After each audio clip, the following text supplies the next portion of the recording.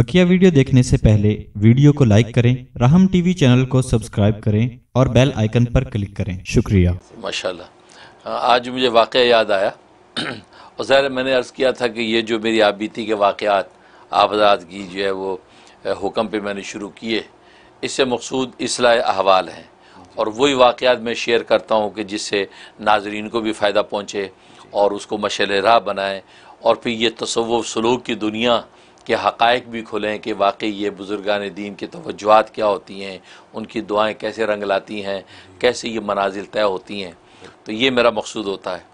ज़ाहिर है कि पहले बुज़ुर्गों के वाक़ात तुम शेयर करते ही हैं, लेकिन अपनी, अपने ख़ुद बीते हुए वाक़ात ज़ाहिर है कि इंसान उसमें मुशाह भी, इंसान ख़ुद उसका तजर्बा भी कर रहा है तो ये ज़्यादा फिर लोगों को अफेक्टिव होते हैं।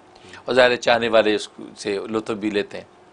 तो ये वाक़ मुझे याद आया कि ज़ाहिर है कि तसव्वुफ़ की दुनिया में शेख की तवज्जो मुर्शिद की तवज्जो बड़ी चीज़ होती है। ज़ाहिर है कि बुज़ुर्ग फरमाते हैं ना एक मुर्गी जो है वो अपनी सोबत में अंडे रखती है और उस पर तवज्जो करती है। उस पर अल्लाह तबारक वाली बच्चे निकाल देते हैं। ट्वेंटी वन डेज़ में बच्चे निकल आते हैं। तो एक पीरो मुर्शद वो रूहानी तवज्जो कर अपनी मुरीद पर तो क्या असलाह हवाल तब्दील नहीं होंगे? वाकई वो जो वो जो है ना उसके अंदर भी जो है ना मार्फत इलाही की जो है ना वो तरक्की होने लगती है खिड़कियाँ खुल जाती हैं। ये वाक़ नाइन्टी टू का या थ्री का गालबन। हर साल पाकिस्तान में आप जानते हैं कि चनाब नगर जिसको ये कादियानियों ने रब्वा नाम रखा हुआ है जो इलाका जो रब्वा ख़ास उनका तो मुसलमानों ने उसका नाम रखा है चनाब नगर। तो चनाब नगर उससे साथ ही वो इलाका है जो मुसलमानों ने आबाद कर रखा है। तो वहाँ हर साल आलमी मजलिस तहफ़ ख़त्म नबूत पाकिस्तान, इनकी जो कॉन्फ्रेंस होती है, ख़त्म कॉन्फ्रेंस हर साल। तो ज़ाहिर है कि मैं हज़रत शहीद इस्लाम मौलाना मोहम्मद यूसुफ लुधियानवी शहीद, रहमतुल्लाह ये नायब अमीर मरकज़िया थे आलमी मस्जिद ख़त्म नबूत के। और मैं उन्हीं के साथ जो है, आलमी मस्जिद ख़त्म नबूत के दफ्तर में उनके साथ ही काम करता था। ज़ाहिर कि रिश्तेदारी भी हो गई ताल्लुक़ भी कायम हो गया। तो वो रब्बा कॉन्फ्रेंस में जाना था तो हज़रत ने कहा भी चले भी। तो हम ये वो कॉन्फ्रेंस में हम गए। अब जब वो कॉन्फ्रेंस में हम पहुँचे तो वहाँ फैसलाबाद गए। फैसलाबाद में जो है हज़रत के बड़े एक चाहने वाले थे राना फजल मोहम्मद साहब। राना फजल मोहम्मद साहब बड़े आशिक मुरीद थे हज़रत। माशा लंबे चौड़े छः फुट के पलवान इतनी दाढ़ी माशाल्लाह बड़े जीदार आदमी थे। तो उनके यहाँ उनके घर पे हम ठहरे फैसलाबाद में। खैर अब वो राना फजल मोहम्मद साहब भी, भी मरहूम हो गए तो अब उनके यहाँ ठहरे। उनके यहाँ पुरतकल्लुब माशाल्लाह खाना नाश्ता ये वो जनाब वो अंदाज में खिदमत होती थी। तो जब ये कॉन्फ्रेंस का वक्त हुआ तो हमने फिर वहीं फैसलाबाद से बाई रोड जाए वहाँ वो रब्वा जाना था जो चनाब नगर के नाम से। वहाँ कॉन्फ्रेंस थी। तो अब यह कि वहाँ उनकी राना फजल मोहम्मद साहब की पिजारो थी, उसी पिजारो में हम वहाँ से वहाँ कॉन्फ्रेंस पहुँचे अब जब वहाँ कॉन्फ्रेंस पहुँचे तो वहाँ पे अकाबिर कराम दुनिया भर से आए हुए थे। मक्का से, मदीना से, इंग्लैंड से, यूरोप से, जो जो अकाबिर सब वहाँ पहुँचे हुए थे। जोक दर जोक वहाँ लोग आ रहे थे, क्योंकि ज़ाहिर है कि आलमी मस्जिद ख़त्म नबूत का ये प्लेटफार्म तो पूरी सियासी और जो है वो मजहबी जमातों का प्लेटफार्म है। सारी दुनिया पहुँच रही थी। तो अब वहाँ काबिर आए हुए अपने में मकामों में ठहरे हुए हैं तो हम भी चले गए। तो वहाँ जब पहुँचे हैं तो जुमे का तकरीबन वक़्त था तो फिर वहाँ जो अकाबिर बुज़ुर्ग आए हुए थे हज़रत लुधियानवी शहीद रहमतुल्लाह अलैह तो वो मेरा उन बुज़ुर्गों से वो तारुफ भी करवाते। मुझे याद है वहीं पे हज़रत मौलाना सैयद नफ़ीस सैयद नफ़ीस शाह साहब अल हुसैनी रहमतुल्लाह अलैह ये शाह अब्दुल कादिर रायपुरी रहमतुल्लाह अलैह के खलफा में से थे। तो इनकी भी वहीं पहली मुलाकात मेरी हुई। तो हज़रत अब्बा जी शहीद ने मुलाकात करवाई और मुझे कहा कि ये देखो, ये सैयद नफ़ीस शाह साहब हैं। हाँ मिलो इनसे। मैंने मुसाफ़ा किया तो उनको तारफ़ करवाया कि ये मेरे अज़ीज़ दामाद हैं, मौलाना मुफ्ती मुनीर अहमद अखून। अच्छा अच्छा माशाल्लाह माशा बहुत खुश हुए, बहुत दुआएँ दी फिर मुझे याद है आज तक कि हज़रत अब्बा जी शहीद रहमतुल्लाह फरमाया कि ये नाम ही की नफीस नहीं है। ये ज़ाहिर के भी नफीस हैं, बातिन के भी नफीस हैं। उन्होंने मुझे याद है सफ़ेद सूट पहना हुआ था और क्रीम कलर की उन्होंने बास्केट पहनी हुई थी और सफ़ेद टोपी। तो और ये वो सैयद नफीशा साहब जो पाकिस्तान के सबसे नंबर वन ख़त्तात थे खुशखती जो आज भी बड़े बड़े जो उनके ऐसे तोगरे जो हैं वो दरूशीफ के ये सही नफी नफीस नाम का नीचे साइन होता है ये उनके हैं। और वो पाकिस्तान में सबसे टॉप वो खुश नफीस हो उनको अवार्ड भी मिला हुआ है। हाँ तो ये वो शख्सियत है। तो फरमाया कि ये नफीस हैं। तो हज़रत बहुत मुझे नफीस शाह से तवज्जो की बड़ी दुआएँ दी और जो हाथ पकड़े रखा बातें की। इस वहीं मेरी मुलाकात हुई हज़रत इमामलिया हज़रत मौलाना अहमद लाहौरी रहमत के पोते हज़रत मौलाना अजमल कादरी साहब। अच्छा। अजमल कादरी साहब दामद बरकत आलिया वो तो हयात हैं। तो ये मौलाना उबैदुल्ला अनवर साहब रहमत के साहबजादे इनसे वहीं मुलाकात मेरी हुई। इसी तरह और बड़े बड़े अकाबिर बुज़ुर्ग वहाँ आए हुए थे। अलामा डॉक्टर खालिद महमूद साहब इंग्लैंड वाले ये भी आए हुए थे। इनसे भी वहीं पे मुलाकात हज़रत ने करवाई। उनसे मुलाकात वहाँ हुई। और आजकल सुना है कि वो हज़रत अलामा खालिद महमूद साहब इंग्लैंड में बीमार है शायद गिर गए कोई चोट वोट लग गई हड्डी में तो हम उनके दुआ गो भी हैं। बड़ा सरमाया है उम्मत मुस्लिमा के लिए। हाँ। बड़े उनकी बड़ी तसानीफ़ हैं। उनकी बड़ी जो है वो मारिफ का अजीब एक अंदाज़ है। अल्लाह उनको सेहत वाफिद दे, उनसे मेरी बड़ी मुलाकातें रहीं। तो वो जो है, वो भी आए, उनसे मुलाकात हुई। और बहुत से नाम मुझे याद भी नहीं। अब सबसे मुलाकातें हुई जुमे का दिन। जुमे की सुबह में, जुमे की तैयारी हो रही है। तो तकरीबन बारह बजे के करीब तो आलमी मजीद तहफ़ ख़त्म नबूत के नाजिम आला जो अभी भी हयात हैं, और हज़रत मौलाना यूसुफानवी शहीद रमत के खलीफा भी हैं। मौलाना अज़ीज़ अज़ीज़ुररहमान मौलाना अज़ीज़ुररहमान साहब जलंधरी। ये मौलाना मोहम्मद अली जलंधरी रहमत जो जो है वो आलमी मजीद ख़त्म के बानियों में से और नवशा कश्मीर के शागिर्दों में से उनके साहबजादे हैं। तो ये नाजम आल आलम मजिद ताफ़ ख़त्म के। तो ये आए हज़रत लुधियानवी शेर रमत के पास। तो कहा कि जुमा आपने पढ़ाना है। अच्छा। हज़रत से ये कहा आपने जुमा पढ़ाना है। तो फरमाने हज़रत कहा अच्छा ठीक है चलो। बहुत अच्छा है। हम कर लेंगे। तो चले गए कह के। तो हज़रत ने मुझे बुलाया। मुझे कहने लगे कि बयान मैं कर दूँगा। अरबी खुतबा तुमने देना है। जुमे का अच्छा मज़ी मुझे अरबी खुतबा याद नहीं। अच्छा मैं तो देख के पढ़ता था। जी। अब मुझे क्या पता था कि मुझे वहाँ ये मौका मिल जाएगा। मैं खुतबा साथ बगल में लेके चला जाता। जी। अब हज़रत का खुतबा अरबी तुम दे देना। तो बयान मैं कर दूँगा। तो मैंने कहा भाई तो बड़ा मुश्किल हो जाएगा। भाई क्यों? क्या क्यों मुश्किल हो? मैं कहा भाई यहाँ तो बड़े बड़े लोग आए हुए हैं तो बड़े बड़े अकाबिर तो ये कोई भी कह नहीं छोड़ो इस बात को। तुमने खुतबा देना है अरबी का। अब मैं मैं अब उनको ये भी नहीं कहूँ कि भी मुझे याद ही नहीं है। मैं तो देख के पढ़ता हूँ। वजह की मुलम थानवी रहमत के ख़ुतबातम के नाम से छपे हुए खुतबे मुख्तलिफ़ उसके ऊपर। तो जो मुख्तलिफ़ मुख्तलिफ़ मुझे पढ़ने होते तो मैं इसलिए कोई खुतबा याद नहीं किया हुआ। तो मैं मुख्तलिफ़ तिलावत करता था। अब हज़रत ने कहा कि खुतबा आपने देना है। अब खुतबा है नहीं हमारे पास। अब मैं बड़ा परेशान। और शुरू के अल्फाज याद है, मैं उस तरह वैसे देख देख पढ़ता था कि वैसे खुतबा याद नहीं। अब मैं खामोश। तो हज़रत ने यह कहा कि मियाँ चलो, तैयारी करो जुमे की। अब हज़रत ने भी अपनी तैयारी शुरू कर दी। हमने सब जब नहा धो के कपड़े शपड़े पहन के अपने खुतबे की तैयारी शुरू अब मुझ पर तो बड़ा सख्त बोझ मैं परेशान। तो मैं फिर अब्बा जी को मिला अब्बा जी वो खुतबा मुश्किल हो जाएगा। किसी और के ज़िम्मे लगा देते। कहा नहीं नहीं क्यों? पर घबराहट क्या है? तो मैंने कहा अब्बा जी वो ज़रा मैं यूँ हेजिटेट करूँ। मियाँ क्यों घबराते हो? हम हैं ना। हम हैं। क्यों घबराते हो? बस खड़े हो जाना बस। हम वहीं होंगे। ये कहा। तो अब उस ये कहने से तो थोड़ी सी मुझे तखवीर सी हुई हिम्मत सी हुई। मैं कह मैं कह ठीक है भाई मैं चुप हो गया।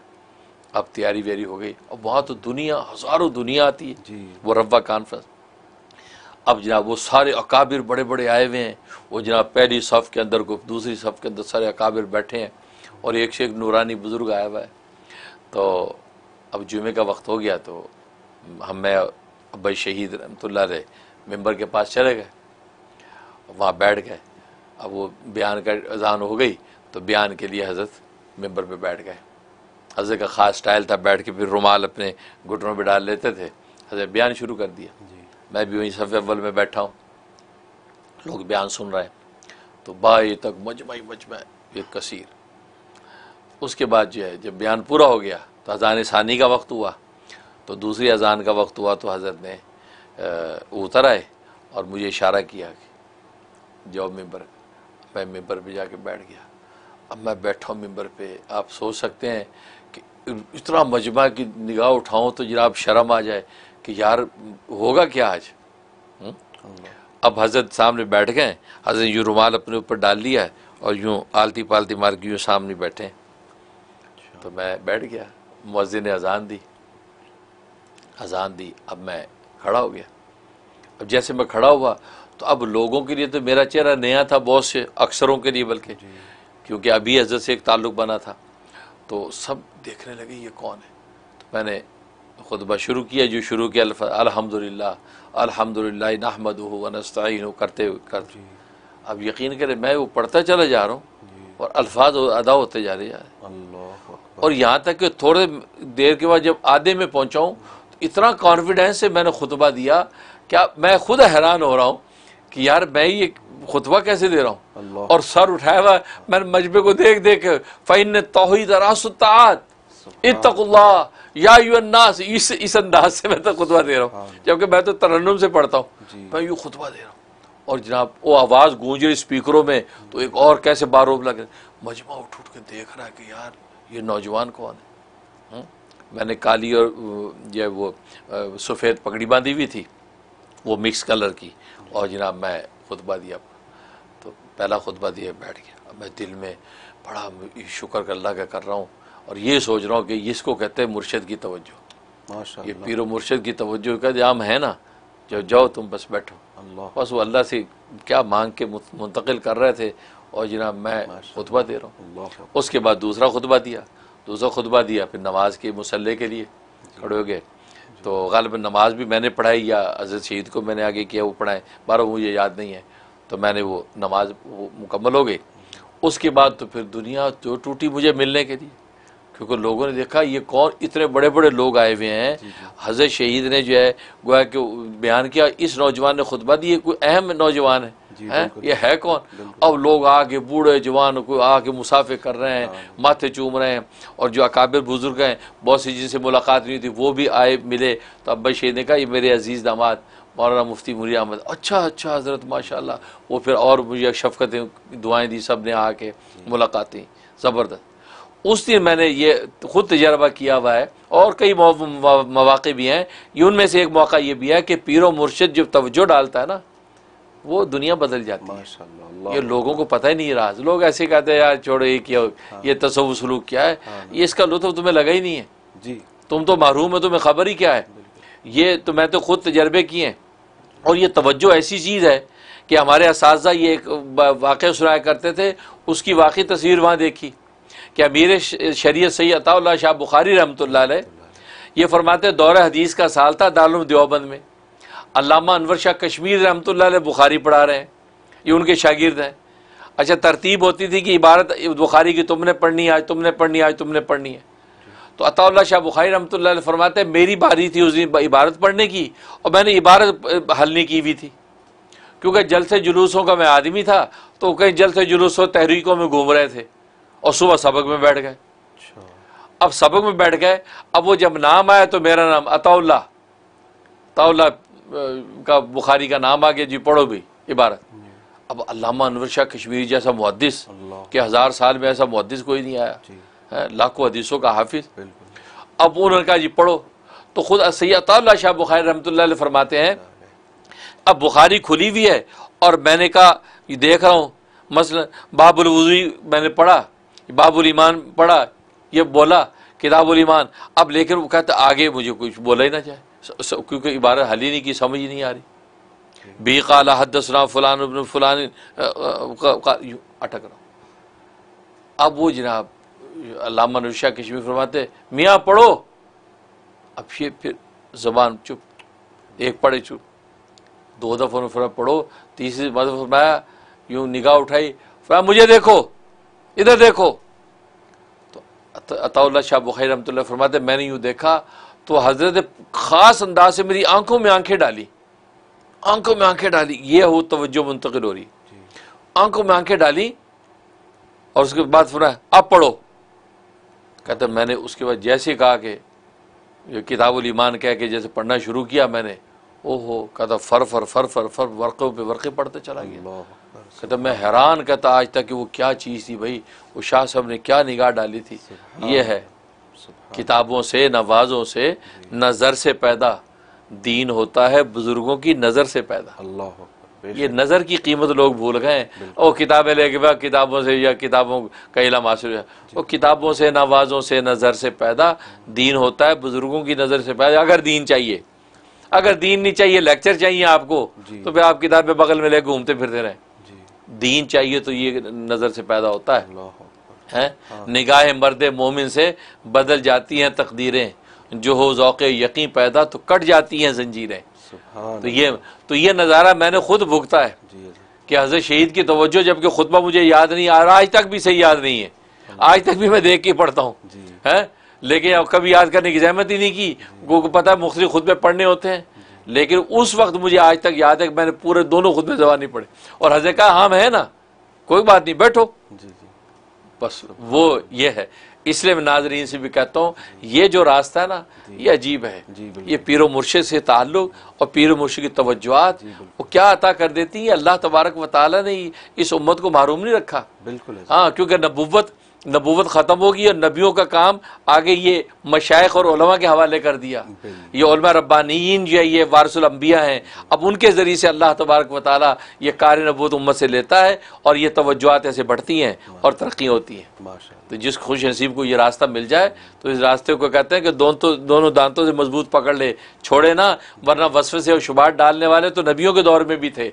महरूम होने वाले महरूम हो गए पाने वाले पा गए। माशाल्लाह। माशाल्लाह। ये बहुत दिलचस्प फ़ील्ड है और लाइन है और इसमें आपसे दिल चाहता है बार बार सुने और तवज्जुहात और ये गैब की बातें जो आप बयान करते हैं इस अंदाज से। तो हज़रत ये मजीद आपसे दरख्वास्त करेंगे कि फ्यूचर प्रोग्राम्स में इंशाल्लाह मजीद इसको आप बताइएगा कि तवज्जुहात कैसे होती हैं और क्या शेख जो है वो दुनिया से जाने के बाद भी अपने मुरीदों पे ऐसी तवज्जुहात डाल सकता है या कोई भी वली इस तरह तवज्जुहात डाल सकता है तो उसकी क्या हकीकत है? वो सब चीज़ इंशाल्लाह। आपसे दरियाफ्त करते रहेंगे।